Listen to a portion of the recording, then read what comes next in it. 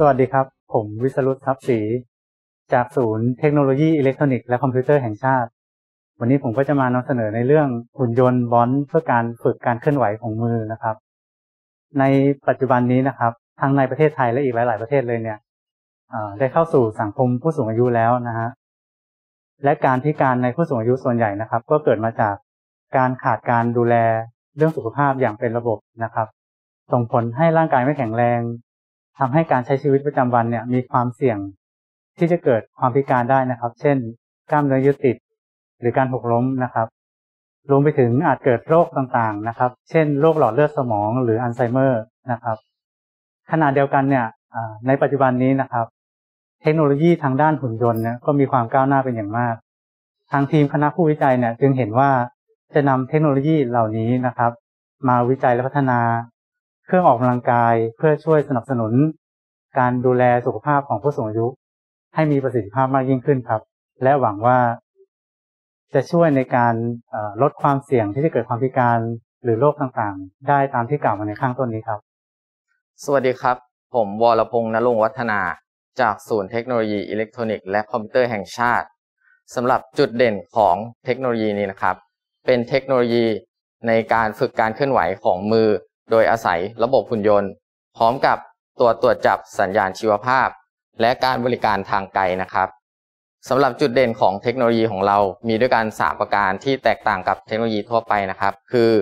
1. ตัวระบบหุ่นยนต์สามารถใช้เพื่อฝึกการเคลื่อนไหวของมือ ได้ทั้งด้านซ้ายและด้านขวา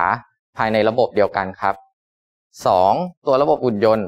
ได้รับการออกแบบในรูปแบบของ Modular Exoskeleton ร่วมกับการสื่อสารแบบไร้สายทำให้ในการใช้งานสามารถใช้งานได้อย่างสะดวกและง่ายครับ และ 3 นะครับตัวหุ่นยนต์มีการใช้งานระบบทางไกลพื้นฐานมาให้ เราสามารถที่จะใช้ระบบดังกล่าว ในการติดตามเฝ้าดูการใช้งานของผู้ใช้ รวมไปถึงการให้คำแนะนำแก่ผู้ใช้งาน นอกจากนั้นเรายังใช้ระบบดังกล่าว ในการแชร์ข้อมูลการใช้งาน เพื่อฝึกการใช้งานแบบเป็นกลุ่มนะครับ จากวิดีโอนะครับจะเห็นได้ว่าระบบหุ่นยนต์ของเราสามารถใช้งานได้อย่างง่ายดายนะครับ เนื่องจากระบบของเราได้รับการออกแบบในรูปแบบของ Modular Design ร่วมกับการสื่อสารแบบไร้สายนะครับ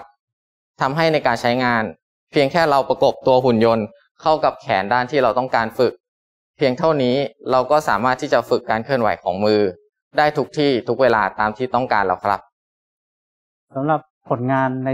ชิ้นนี้นะครับ ก็คืออจะช่วยแก้ปัญหาในเรื่องของการเข้าถึงเทคโนโลยีขั้นสูงสำหรับคนไทยนะครับ เนื่องจากการนำเข้านวัตกรรมหุ่นยนต์มาจากต่างประเทศเนี่ย จะมีค่าใช้จ่ายที่ค่อนข้างสูง เพราะฉะนั้นถ้าเราสามารถผลิตนวัตกรรมเหล่านี้ใช้ได้เองภายในประเทศนะครับ ก็จะช่วยลดค่าใช้จ่ายเหล่านี้ลงไป พร้อมทั้งยังช่วยกระจายนวัตกรรมไปยังพื้นที่ต่าง และผู้สูงอายุก็มีโอกาสเข้าถึงเทคโนโลยีการดูแลสุขภาพได้อย่างมีประสิทธิภาพมากยิ่งขึ้นครับ ปัจจุบันนี้นะครับอุปกรณ์เนี่ยอยู่ในขั้นของการทดสอบในห้องปฏิบัติการ และอยู่ระหว่างหาทุนสนับสนุน เพื่อต่อยอดงานนวัตกรรมไปสู่ผู้ใช้งานจริงนะครับ อย่างไรก็ตามนะครับระบบพร้อมถ่ายทอดเทคโนโลยีสำหรับผู้ที่สนใจ เนื่องจากได้มีการยื่นขอจดสิทธิบัตรและได้เลขคำขอแล้ว สำหรับกลุ่มเป้าหมายนะครับ ก็คือผู้ที่ต้องการฝึกออกกำลังกายในส่วนของมือนะครับ หรือผู้สูงอายุที่อยู่ในพื้นที่ชุมชนที่ห่างไกลนะครับ หรือแม้กระทั่งคนที่ต้องการฝึกออกกำลังกายด้วยตนเองที่บ้านก็สามารถทำได้นะครับสำหรับผู้ที่สนใจนะครับ สามารถติดต่อสอบถามได้ทางรายละเอียดที่ปรากฏอยู่บนหน้าจอนี้ครับ ขอบคุณครับ